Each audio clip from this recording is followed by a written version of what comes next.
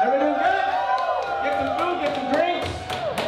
I'm Andy McNamara, TSN 4 Downs. I got TSN's Dave Naylor here. I got Dave Woods from The Score. We're going to chat some draft, got some interesting draft stories, and a lot of prizes to give away. So make sure you're holding on to your raffle tickets. 9 o'clock. These are some of the prizes.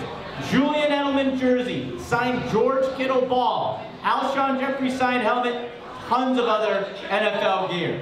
There's going to be lots of fun tonight. We'll open up to Q&A in a little bit as well. Uh, but while you get the food, while we get ready for the draft, I was going around the room and the big topic, of course, who is going to be the first overall pick in the draft? Is it going to be Kyler Murray?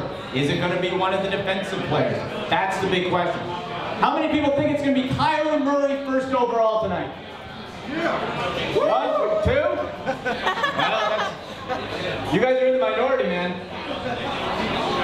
So guys, let's Dave Naylor and Dave Woods, let's let's talk this out a little bit. You got Kyler Murray, Arizona Cardinals. They traded up last year to get Josh Rosen. I can't remember a time where a team took a first round quarterback in back-to-back years. I can't either, but I think the dynamic that makes this possible and perhaps probable is, is the change in coach.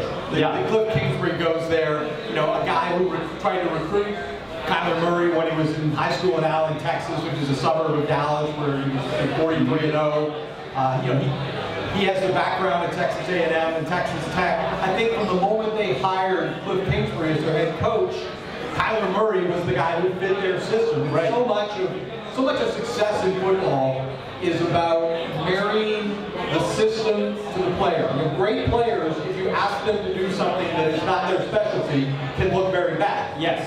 And when you think of the kind of offense that Cliff Kingsbury wants to run in Arizona, Kyler Murray seems like he's made for it. Right. Yeah, I mean, I think the, the fit makes all the sense in the world, and it's not necessarily as difficult a decision as it would look on the surface because they didn't spend that much on Josh Rosen. They spent the first round pick, they traded I think a third and a fifth to move up and get him. And that's Right. not a that's not a franchise altering decision. Like you, you can move on from that after a year, even if you're going to look at trading Rosen for pennies on the dollar, like a, I don't know a third round pick or something like that. But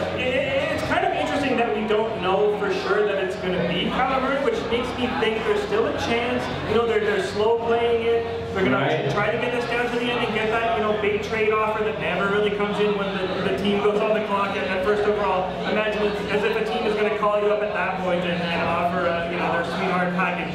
That, that would be done by now, I think. But maybe they're a little sour on Murray. I, I don't know, but I, obviously the chalk is that Murray goes number one. Well, there's so